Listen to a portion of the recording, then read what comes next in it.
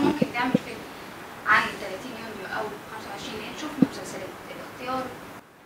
يعني أنا عملت المسلسل ده عن 25 وعن 30 على فكرة المسلسل ده عن 25 وعن 30 وعن تجمع إيرادات المصريين في 25 وفي 30 وكيف يمكن مقاربتها بتجمع إيرادات المصريين أيام الاحتلال الفرنسي. لا ما فيش حاجة عندي أقدمها دلوقتي عن عن الثورتين دول اللي عندي قدمته في المسلسل وهتشوفوه لغاية الآخر. الرقابه شايفه بتقيد بكل تأكيد أي مبدع في العالم مش هيبقى عايز رقابة. بكل تأكيد. ال- الرقابة ضد الإبداع بكل تأكيد.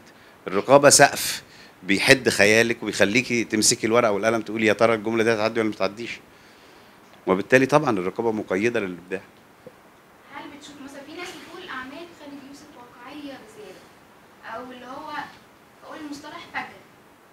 هل حضرتك بتشوف فعلا خلاص إيه؟ يعني هي لو أنا بشوف إن أنا واقعي جدا في تقديمي للي أنا بحسه ومباشر جدا في اللي أنا بحسه بقدمه كما حسيته.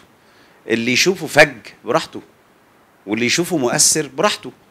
يعني أنا ماليش إن أنا أحكم على آراء الناس في اللي أنا بقدمه. ليس من حقي. الناس لها الحرية الكاملة إنها تقول خالد بيقدم بمباشره فجة وفي ناس تقول لي بيقدم والله آه، آه، فن مؤثر. في ناس تقول كده وناس تقول كده. وده لهم الاحترام كامل الاحترام ودول لهم كامل الاحترام. آه، خالد يوسف هو نمبر 1 بعد يوسف شاهين؟ لا الجملة دي الجملة دي الجملة دي ما بحبهاش. مفيش career في العالم في حد اسمه number 1 فيه.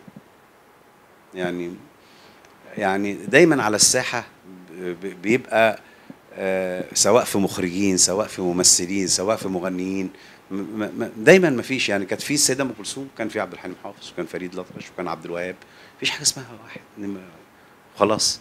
مصر مش ما- عدمتش عشان تعمل واحد في في كمخرجين ولا واحد كممثلين. عندنا عشرات ال- المخرجين الكويسين عندنا عشرات الممثلين الكويسين.